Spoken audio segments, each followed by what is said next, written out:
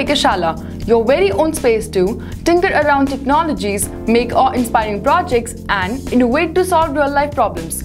This project is set to guide you through making of plant monitoring system using moisture sensor connected to microcontroller. This sensor will detect the water concentration in plant and will generate the response accordingly. Like, the buzzer will start to beep as soon as there is a lack of moisture found in the soil. For making of this project, you will require Arduino Uno with USB cable, soil moisture sensors, some jumper cables, 5 volt active buzzer, 9 volt power adapter. Write the code instructed in the Arduino IDE. After have written the code, connect it to the computer using USB A to B cable.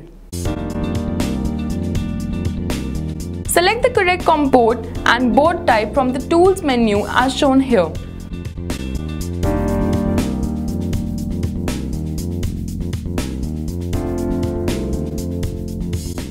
Click the Upload button to compile and upload the code.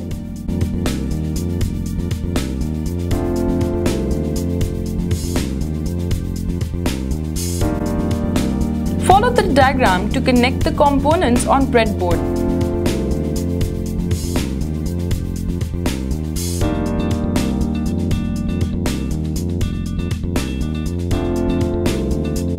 Insert the moisture prong in the soil.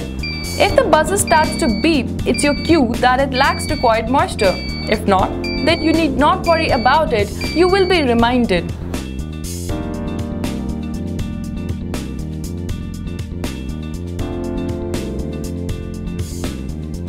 Now try changing the threshold value and observe the difference.